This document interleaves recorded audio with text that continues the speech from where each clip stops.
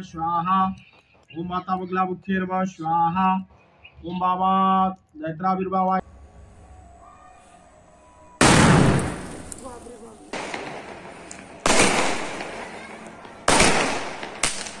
जय Shri Krishna everyone so finally the wait is over क्योंकि इतने दिनों की इंतज़ार के बाद फाइनली प्रभु श्री राम अपने अयोध्या नगर में आज विराजमान होंगे तो उन्हीं के उपलक्ष्य में हम लोगों ने एक छोटी सी पूजा का आयोजन किया है।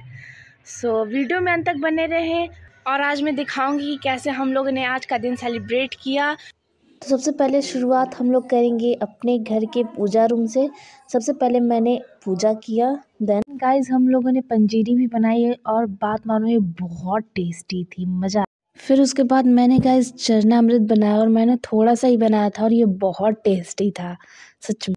अब इधर मम्मी और नानी पूजा की सारी तैयारियाँ कर रही थी इधर अब बारी आती है हमारे राम जी की पूजा की। एंड गाइज़ अब बारी आती है पूजा की तो इधर मम्मी और पापा पूजा पर बैठे हुए थे। And and guys after puja complete अब हम लोगों ने थोड़ा हवन किया और उसके सो गाइज़ आफ्टर पूजा, आप देख सकते कि हमारा झंडा कितना अच्छा लग रहा है। जय Shri Ram.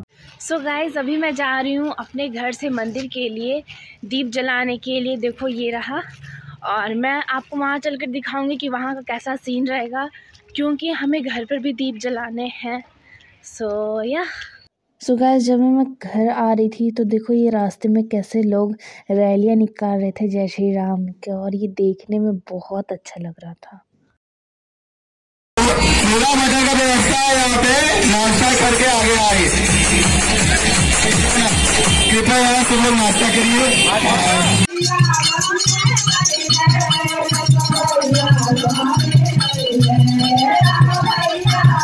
एंड गाइस मुझे सच में पटाखों से बहुत डर लगता है और ये भैया लोग पता नहीं कौन सा ये पटाखा जलाया था जो बहुत ही हॉरिबल था।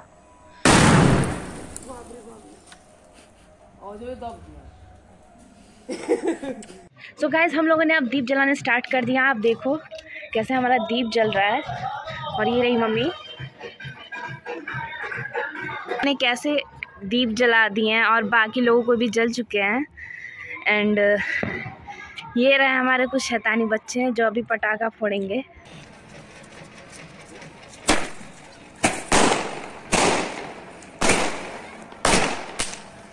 सो so गाइज़ अगर आपको ये व्लॉग अच्छा लगा तो प्लीज़ अगर आप इस चैनल पर नए हो तो like and subscribe and share करें।